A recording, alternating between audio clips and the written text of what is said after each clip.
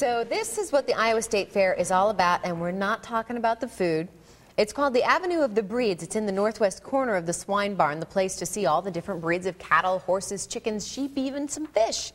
But during the fair, the animals aren't the only ones who live there. News Channel 8's Eric Hanson found about two dozen people who wait all year to sleep in a barn. Eric? Kevin, if you want to see every animal without visiting every sometimes smelly barn, you can visit the Avenue of the Breeds and the kids who wait all year to live there. On the state fairgrounds, plenty of barns have plenty of pens and one or two people looking at them. And then there's the one with crowds. We have uh, an ostrich, and you want to stay away from that. People come in and see our, our elk, think it's a reindeer. It can reach over the gate and get you. I mean, it doesn't hurt, it just startles you.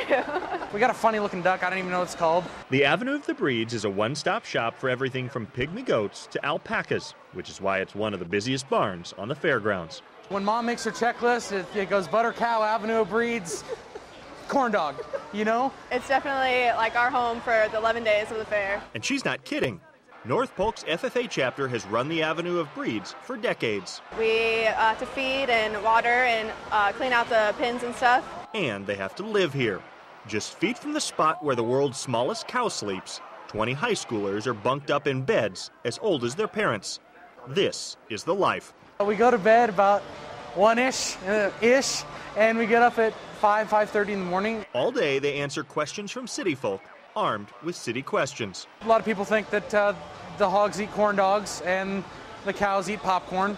They always ask where the big boar is, and if they just look up, it's right over here.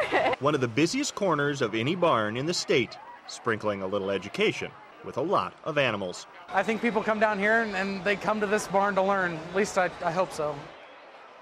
Now, the North Polk FFA students care for a total of 55 different breeds of animals, all of which are a little different and take a little different things to care for. The Avenue of the Breeds is open from 9 to 9 in the swine barn, very close to that big boar. I liked how the young man said, you know, mom's checklist includes this, this, and Yep. that. That's exactly what it, you've got to go to the Avenue of Breeds. Absolutely. It's must see. Thank you very much, Eric.